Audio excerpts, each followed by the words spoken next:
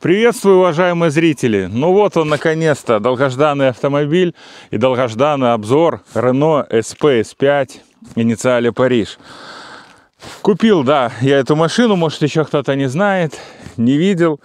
После Гранд Сценика 4 а, уже прошло где-то полтора месяца, может даже и больше. И я вот наконец-то вам сниму, покажу, выскажу свое мнение, впечатление, стоит ли покупать этот автомобиль и так далее. Видео будет довольно долгим, поэтому наберитесь терпения. Я буду рассказывать все по полочкам дотошно, как я это обычно делаю. Как вы поняли, у меня комплектация инициали. Я целенаправленно ее искал. Называют инициали, инициал.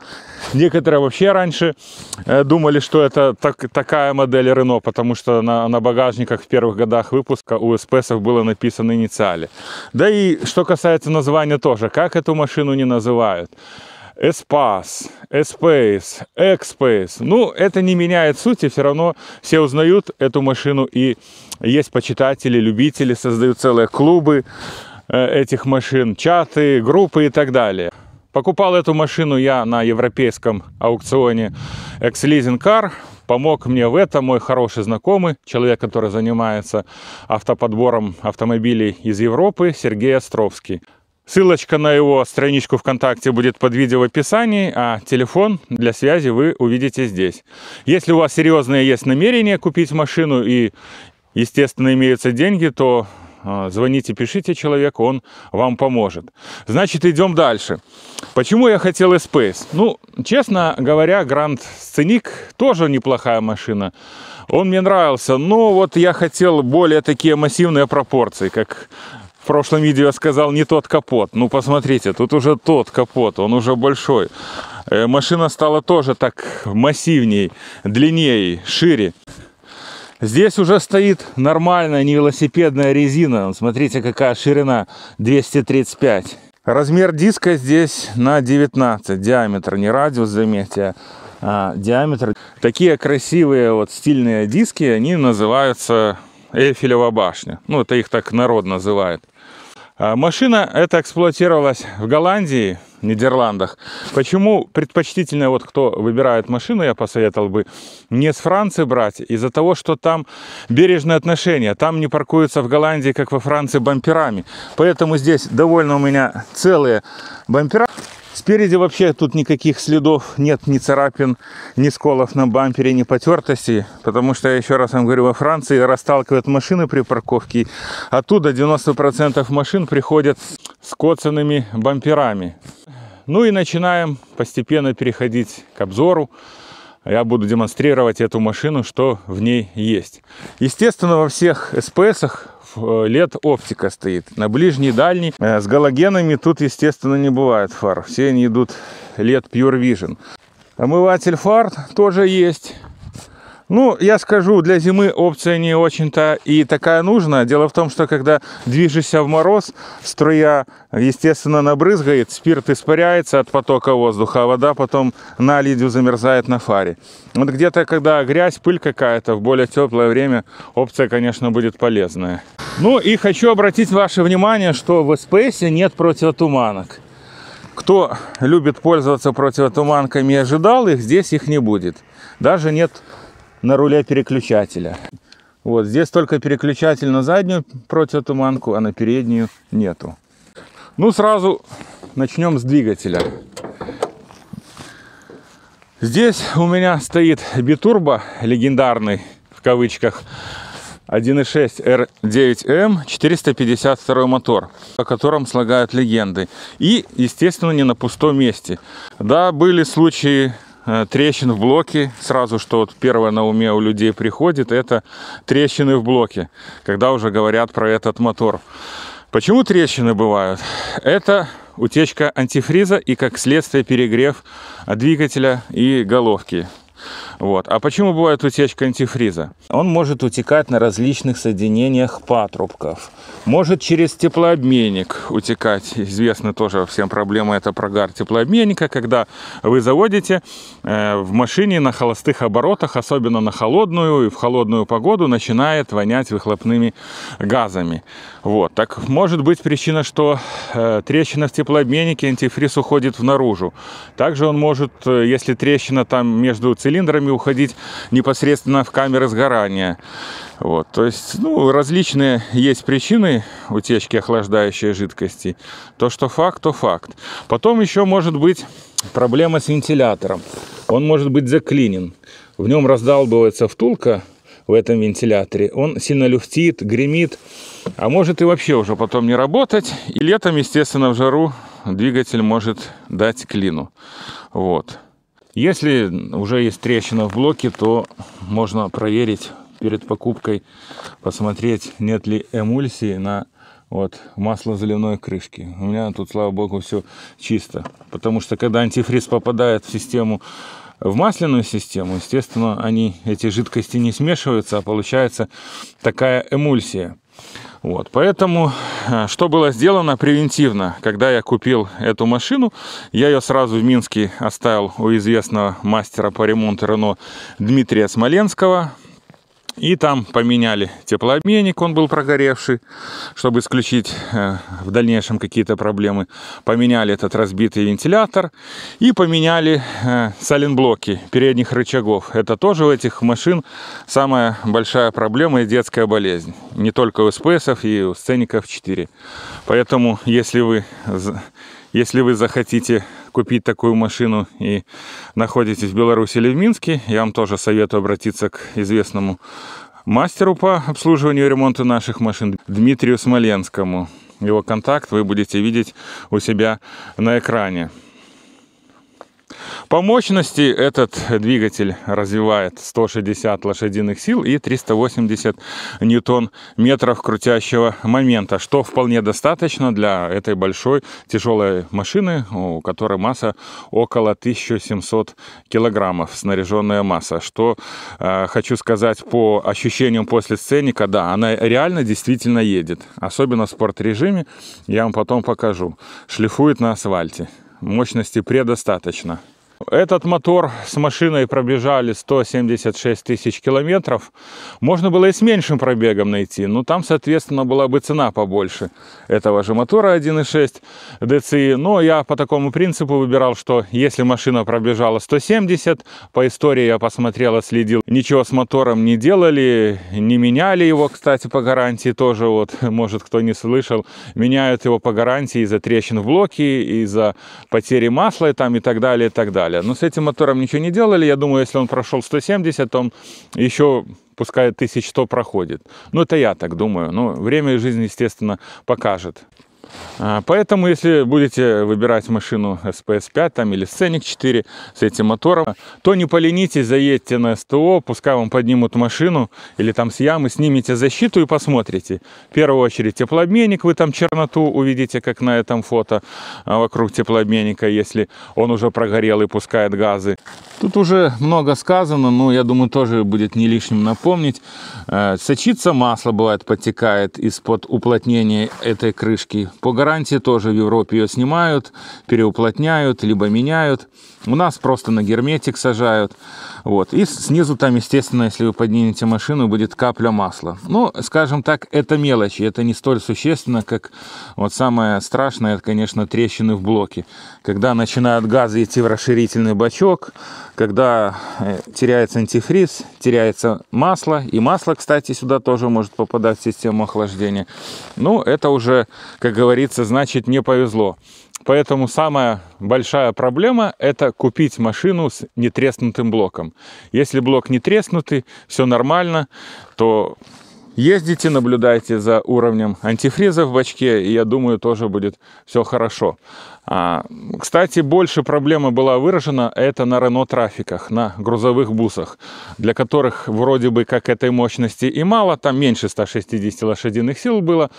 А, машины грузили, таскали прицепы, летом жару по европейским странам ездили, напрягали машину, движок не выдерживал и, естественно, появлялись вот эти пресловутые трещины. Ну и на СПСах тоже эта проблема не миновала. Еще проблема отмечалась подтекание масла между пластиковой крышкой на коробке и самим корпусом коробки. Здесь когда-то отмечались небольшие э, следы масла, но оно уже все засохло и не течет. А здесь я показываю теплообменник, который уже поменен. Небольшие совершенно следы э, сажи были. Теплообменник поменяли. Запаха в салоне нет. Стоит абсолютно новый этот агрегат. И проблема решена. А также еще отмечались изредка проблемы потеков масла между масляным теплообменником и корпусом масляного фильтра. Известно, что уже появился двигатель нового поколения. Ну, скажем, он не абсолютно новый, он уже давно ставился на Renault 2.0 DCI M9R тоже хороший двигатель с цепным приводом. Кстати, да, вот вспомнил про цепь. Утром на холодную, когда вы заводите, у вас может быть там секунду-две лязгание цепи слышно. Ну, это не является тоже большой проблемой. Можно еще и не менять, но если есть желание, то можно поменять. Меняется она дорого, сложно, там, со снятием двигателя, либо с разборкой всего передка, снятием правого колеса. Короче, мастера это знают, это уже их удел. Но стоит это недешево удовольствие. Так вот, что касается двигателя 2.0, э, он в приоритете, естественно, перед 1.6 DCI. Но если брать, конечно, то брать с мощностью 200 лошадиных сил. Они тоже, эти двухлитровики, есть 160 лошадиных сил. Ну, будет практически так же ехать, как этот 1.6, то, естественно, лучше брать 2.0 DCI. Хотя там разница в динамике, по-моему, одна секунда, если я не ошибаюсь. Вот. Ну, крутящего момента там будет побольше. Но тот мотор 2.0 DCI, он уже идет с системой AdBlue, то бишь с мочевиной с которой тоже начинаются у Рено проблемы, начинает не видеть уровень мочевины системы после заправки, там всякие прошивки, обновления. В итоге люди вырезают эту систему и забывают об этой проблеме. Ну а самый, скажем так, классный, надежный и э, мощный вариант это будет бензиновая версия 1.8 турбо 225 лошадиных сил ну, конечно, это машина-пушка-гонка с этим двигателем. Он и беспроблемный относительно всех этих дизельных моторов, но его еще попробуй найти. Котик хочет ласки. Его еще попробуй найти в Европе. Да, бензиновых машин мало выпускалось, на аукционах их тоже выставлено мало, и они подороже даже, чем бывают дизельные версии. Поэтому, ну, вроде по движкам все, я сказал. Да, кстати, отмечались нечастые случаи проворота вкладышей и на этих моторах 1.6 DC. Форсунки здесь и топливная система стоит Bosch. Весьма надежная. Аккумулятор тут тоже расходником является. Придется, наверное, мне поменять, потому что запуск такой тяжеловатый в холода. Поэтому, ну, энергонагруженная машина, что делать? Тут все запитано на электричестве. Поэтому как есть. Ну, вроде по движку все, не будем сильно на нем зацикливаться. Информации массы в интернете, фо на форумах, в чатах. Если что, почитайте, посмотрите. Так, смотрите, тут система For Control. Тоже некоторые ее боятся. Это всем известная система подруливания задних колес совместно с э, амортизаторами, которые изменяют свою жесткость в зависимости от режима вождения. Здесь комфорт, нейтральный, спорт и так далее. Изменяется жесткость на ходу. В спорте более такая собранная подвеска жесткая становится у этой машины. Рулежка тоже руль более такой налитой, тугой. Ну и амортизаторы поджимаются. Там фишки подходят к ним, изменяется их скажем так, наполнение и режим работы. Я не буду вдаваться в подробности, что там и как делается, но когда едешь в режиме комфорт, то заметно машина помягче. помягче идет. Вот, по нашим ямкам особенно. Ну и на этих высокоотносительно профильных шинах тоже помягче, чем на когда-то 20-х на моем Гранд Сценике 4. Тут это сразу уже бесспорно и не подлежит даже, скажем, обсуждению. Поэтому по надежности этой системы FO-Control, что можно сказать? Амортизаторы, да, дорогие, если выходят из строя, если они текут. Их в Европе тоже можно купить. Я даже не буду называть цены, они постоянно меняются. Можно купить бэушные, но в Минске я читал, есть человек в группе Вайбере читал, который их восстанавливает, ремонтирует. Эти амортизаторы, поэтому я думаю, на сегодняшний день это не проблема. А по поводу доворота задних колес этой балки. Стоит там сервопривод электрический, мощные такие здоровенные тяги э, подходят колесам. И это сокращает радиус разворота. Это охрененно, я вам скажу. Я даже не думал. На участке на радиусе меньшем, чем мой Гранд разворачивался, можно развернуть этот СПС 5. Очень хороший выворот, особенно на, тех, на тесных парковках, где-то в городе парковаться, вообще замечательно. То есть, когда мы поворачиваем передние колеса на маленькой скорости, задние на, в ту же сторону, ну, там совсем немного на 2 градуса, но даже внешне, наверное, незаметно. Я потом как-нибудь попытаюсь принудительно это показать, вывесив задок машины, как они доворачиваются. А на скорости, когда вы едете, они в противоположную сторону чуть-чуть подруливают, и получается тоже лучше управляемость, машина не стремится к заносу, лучше держит дорогу. Это тоже заметно. И если придется, ну, если придется ремонтировать, да, это тоже, конечно, вложение. Меняется полностью этот сервопривод управления задними колесами. Кстати, тут по гарантии, я в истории смотрел, в этой машине меняется. Ну и развал тоже уже научились делать, даже у нас в Мозере, я слышал, делают для фоконтрола тоже. Это не является проблемой. Ну, у Рено, наверное, как и у других марок, есть такая проблема запотевания задних фонарей. На драйве я читал записи, а люди делают дополнительную вентиляцию, там просверливают в одном тонком месте дырочку, чтобы лучше вентиляция происходила. Ну, вот видите, бабочка тут, паучок. Ну, видите, при, привезли такую небольшую коллекцию голландских насекомых здесь.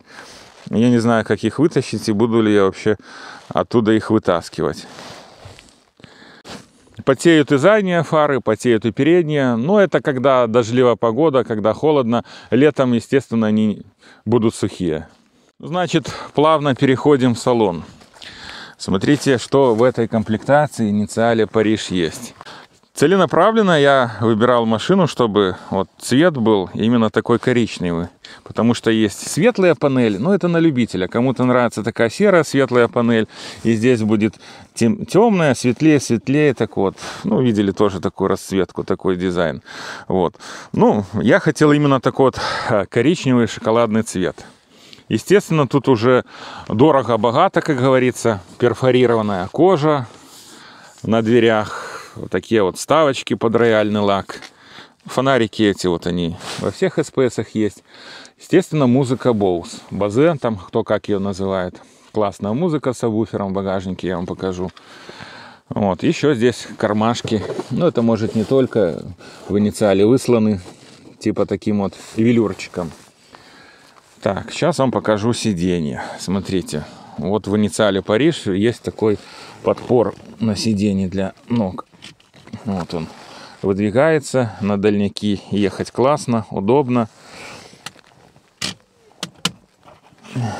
Тут электропривод сидений водительского и пассажирского у меня двигается. Оно там вперед-назад, вверх, вниз. Даже вот эта вот часть, подушечка тоже, видите, поднимается, опускается. Есть массаж, функция массажа. Ну, кто хочет... По большому счету я скажу, что массаж это, ну, такая функция более развлекательная.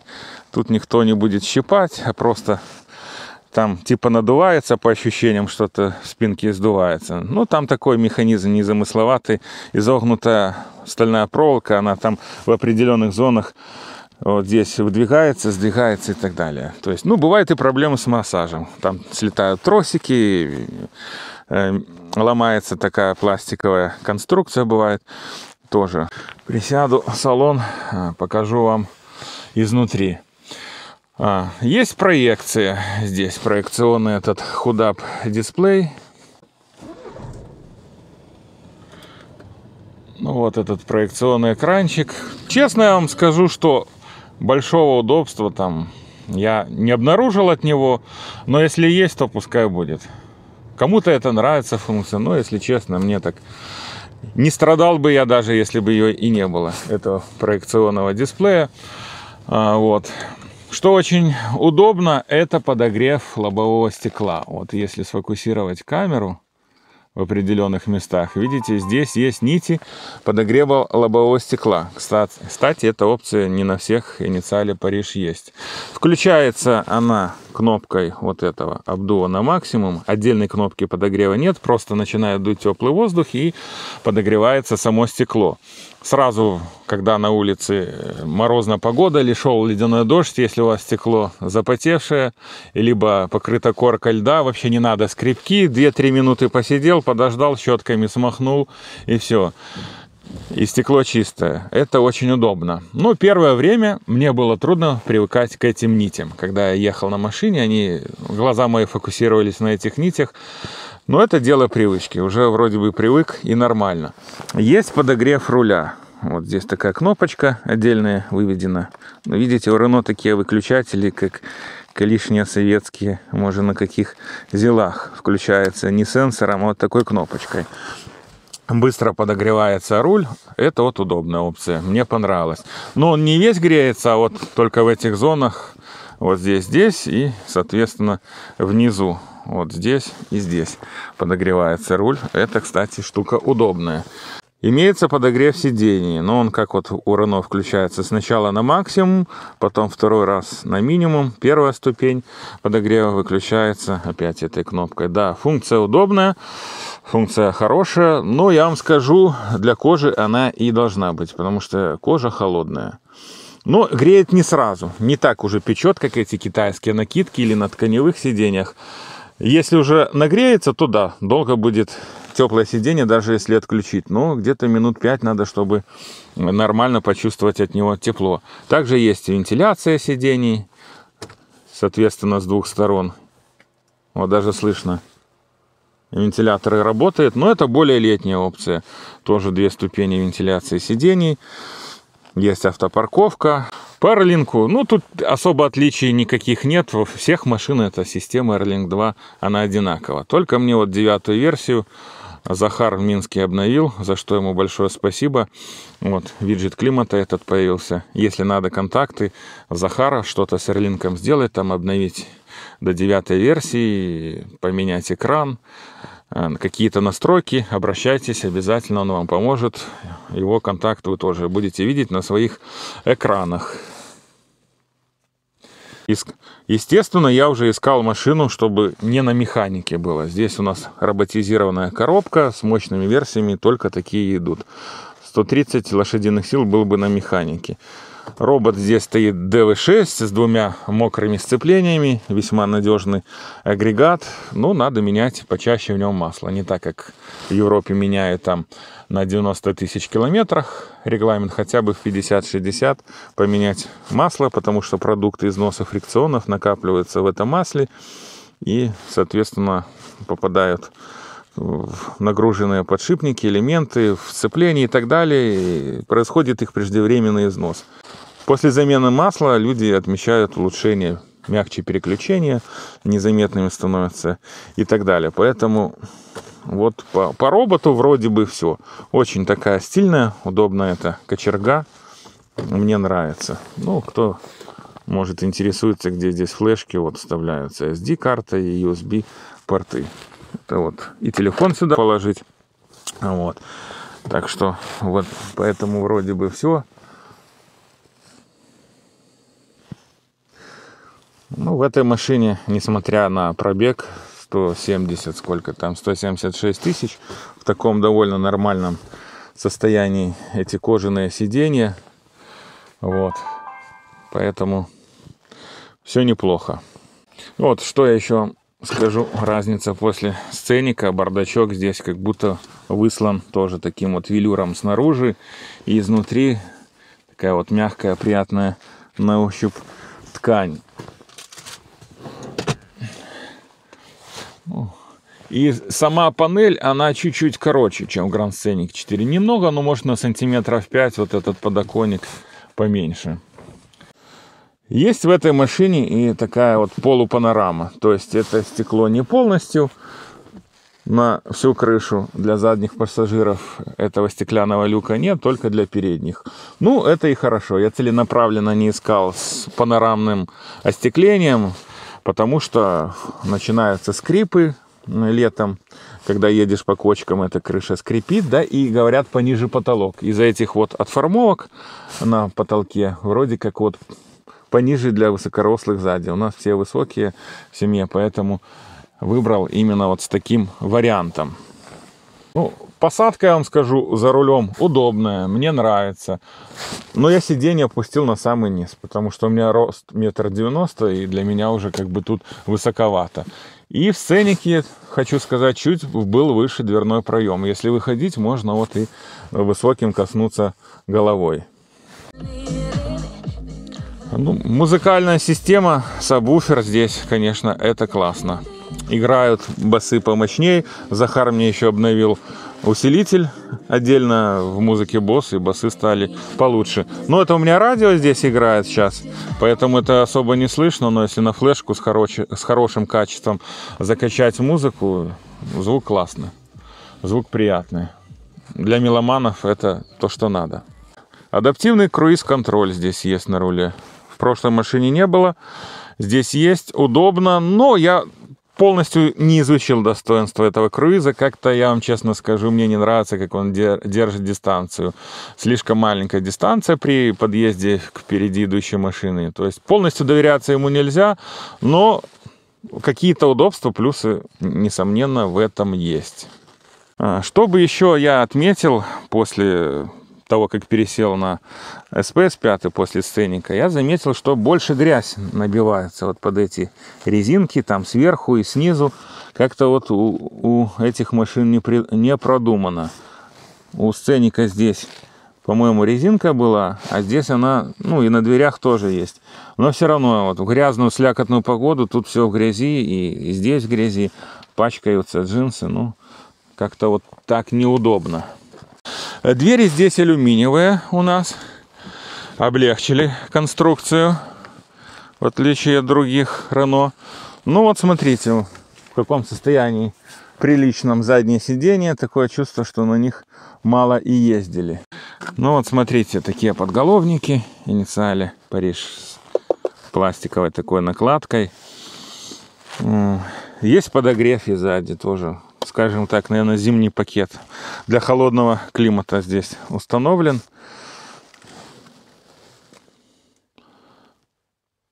Ну, так вот приятно смотрится салончик, сдержанно, аристократично, даже скажем. Ну и место побольше для задних пассажиров после сценика, я вам честно скажу. Вот это расстояние до переднего сидения побольше. Вот я сейчас сам за собой усядусь. Спереди я свободно сидел. И вот смотрите, какое еще расстояние до спинки сидений передних. Можно тут в развалочку спокойно сидеть. Но минус столиков уже нет, видите? Столики убрали. Контурная подсветка.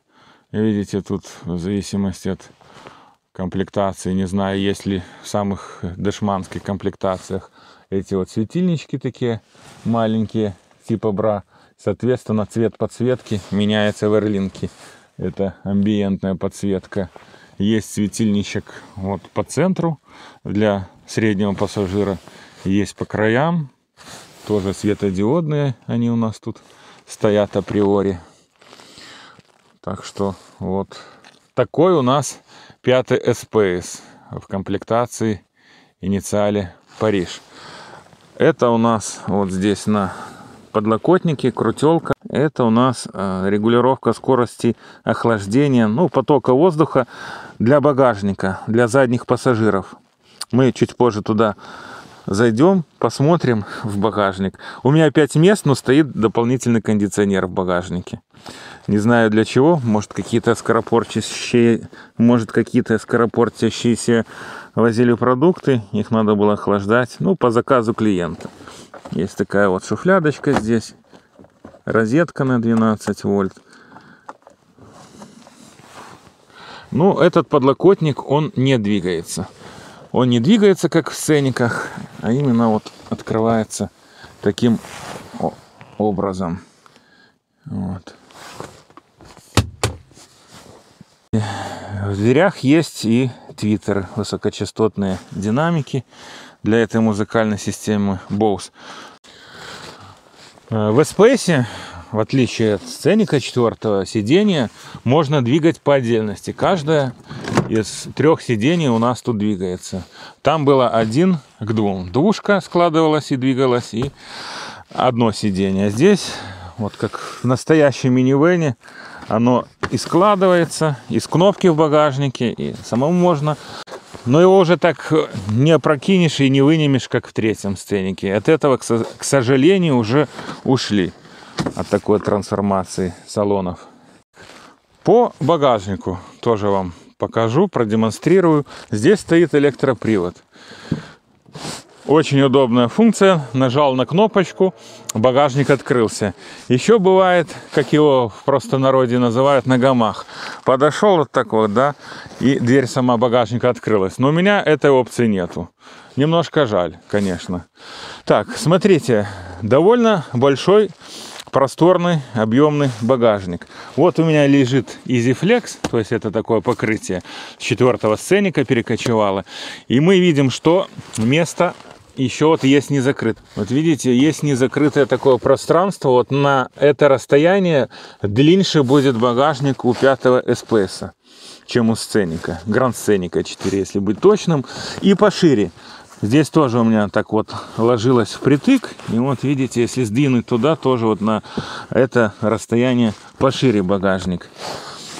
Хочу сразу вот, пока вспомнил, отметить, что для того, чтобы снять задние фонари, Здесь нету лючков. Вот недостаток. Надо будет снимать вот эту накладку, боковую панель, чтобы найти тот барашек и открутить, э, снять фару. Фонарь, вернее. Ну, а зачем его снимать? Его, в принципе-то и снимать не надо. Здесь все LED у нас.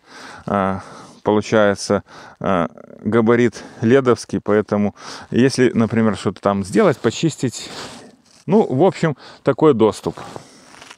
Так, напомню, что у меня 5 мест, пятиместная версия. Вот здесь тоже твиттеры, пищалочки есть в багажнике. А это у нас уже э, обдув кондиционер для задних пассажиров. Можно просто э, сделать обдув, а можно охлаждение. Ну, тут этих пассажиров нет, но вот так задумано, так есть. Сейчас я вам покажу, достану EasyFlex, что у нас в подполье. Поднимаем вот этот пол и мы видим здесь сабвуфер Bose. Он легко достается. Здесь три винтика, они откручиваются, снимается фишка, достается этот сабвуфер. Ну, запаски уже здесь не будет. Запаска находится докатка снизу. Вот здесь у нас находится запаска. А вот, а вот он это дополнительный кондиционер. Электромотор, контур охлаждения сюда отдельный, от общего выведен. И даже есть э, специальный салонный фильтр для этого мини-кондиционерчика. Вот здесь у него сзади находится салонный фильтр. у этих машин существует проблема проседания крышки багажника. Она хоть и пластиковая, но такая тяжелая, массивная. Ее регулируют. Это несложно делается, хватает в интернете записи на Drive 2. И вот смотрите, она у меня ниже стала, поэтому даже вот эти клопики имеют следы касания с этой вот накладкой. Вот где они касаются, с этой накладкой на заднем бампере. Поэтому как потеплеет, будем делать. И, соответственно, на замке багажника тоже вот краска стерлась из-за этого касания. Имеется у меня и электрический фаркоп. Под этой крышечкой находится вот такая веревочка с бабышечкой. Тянем за нее вверх, и у нас вывалился электрический фаркоп. Чтобы не пищал, его надо вверх потянуть, зафиксировать. Хорошо ли это плохо, не знаю. Машины в Европе иногда тягают прицепы дачи тяжелые. Это плохо для коробки робот, из-за того, что нагружают ее. Но я так посмотрел, Вроде туда же вот следов никаких нету от дышла прицепа. Ну, может и не таскали, просто купили с этой опцией, чтобы было, скажем так. Складывается он также. Потянули вверх, он повис, затолкнули, он там зафиксировался. Вот и все. Закрываем кнопочкой. Плавно так, с характерным звуком он закрывается. Вот, дожимается. И все. А, как видите, в СПСах, может для кого-то и новости будет, нету на багажнике, как это называется, релингов. Нету релингов. Может это и минус, но мне кажется, они бы тут и не смотрелись, наверное. Вот решили инженеры без релингов. Ну, ничего страшного.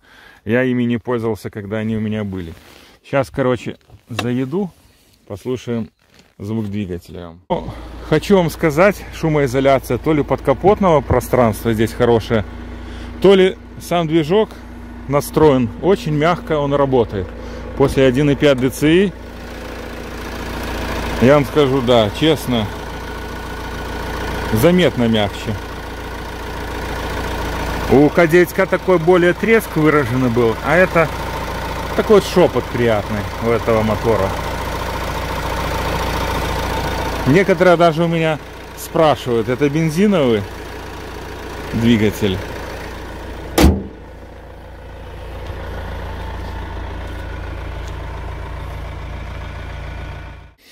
Если электросидение с памятью, то будет такая опция, как опускание зеркал. Включил заднюю передачу, у нас зеркала опустились. Но мне это неудобно, функция не понравилась, я ее отключил парящий центральный тоннель. Это вот фишка этих машин. Кому-то неудобно туда подстаканники ставить. Э, Но ну, я привык, мне нравится. Я туда могу свою сумку поставить. Вот. Мне лично удобно какие-то вещи, чтобы не на переднее сиденье класть. Я, например, э, ложу их туда, в этот в эту нишу. В SPS 5 уже нету в полу этих лючков, как вот на Гранд Сценике, Сценике 4 было. Они уже ушли почему-то от этих ниш в полу. Их нет ни спереди, ни сзади. Единственная вот ниша у нас здесь сзади справа находится. И в ней такой вот наборчик. Баллонник буксировочный крюк. Ну и, пожалуй, все. Кстати, домкрат тоже сюда можно положить. Что касается этой комплектации инициали Париж, вот здесь видно двойное стекло. Это не стеклопакет, оно как будто вот склеено из двух, но по толщине, наверное, чуть-чуть больше, чем одинарное. Это нам дает дополнительную шумоизоляцию. Так, друзья, движемся по плохой дороге дачной. Что я могу сказать о этой машине, как она едет в движении? Понравилась более мягкая подвеска, чем в предыдущем моем автомобиле сценнике. Ну, это еще у меня здесь режим эко, но настройка подвески комфорт. А, шумоизоляция хорошая. Практически вот не слышно шумов от дороги мягко проглатывает все кочки, ямки.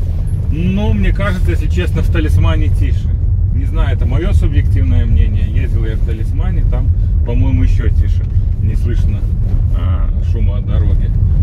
Хотя и здесь звукоизоляция на уровне. Ну вот выехали мы на трассу. Сейчас вам включу спорт режим, покажу. Вот двойное нажатие на эту кнопочку. Ой, и тут мотор оживает. Сразу подхватывает на низшую передачу. Кикдаун такой типа происходит. Но тут еще синтезированный звук в колонках от двигателя. Его можно отключить. Вот, и гораздо резвее разгон происходит в спорт-режиме. И переключение на более высоких оборотах тоже происходит. Как и вверх, а вниз тоже происходит более такие ощутимые переключения, когда она тормозит двигателем, то есть там с четвертой на третью, на вторую, то слышно с притормаживанием таким происходит. Если в других режимах, то более плавно переключения делаются. А тут вот сейчас мы ускоримся, когда видимость будет лучше. Тапочку в пол. Вот, смотрите. До трех с половиной и она щелкает передачи. Ну, вообще, кажется, что это не 1.6 двигатель, а какой-то спортивный болид. Но так не рекомендуется ездить. Ни для коробки, ни для двигателя. Тем более это дизель с большим пробегом. Коробка это тоже не любит резких ускорений. Ну, это так, демонстративно я вам показал. Или вдруг на трассе приходится, надо кого-то обогнать. Это делаешь увереннее, чем на 1.5 DCI. Я думаю, что вот в этом плюс этого мотора. Ну и вот я сейчас слышу, как она скидывает передачи тоже с таким клевком.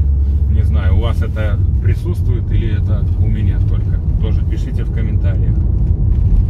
А так, еще раз повторюсь, мягко, комфортно, удобно, рулится легко, повороты легко входит. Одно удовольствие от езды. Поэтому, друзья, хочу подвести вывод, сделать резюме.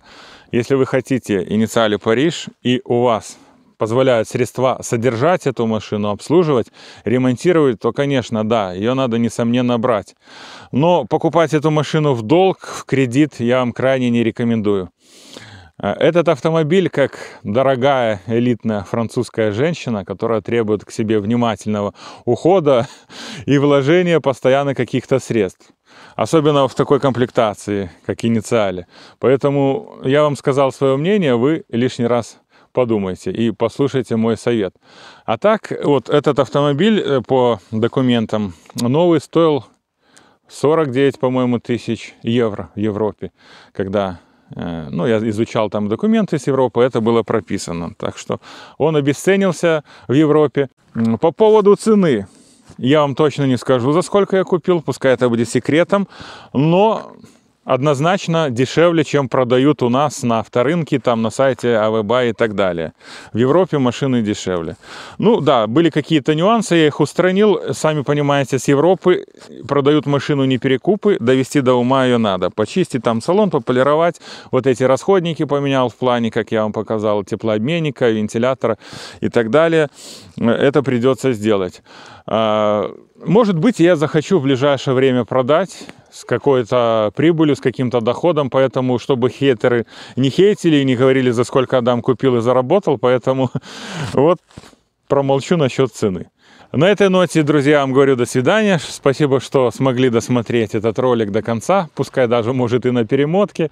Я за это не обижаюсь. Вот это был мой Space 5 Инициалия 2018 год. Увидимся на канале. Всем пока.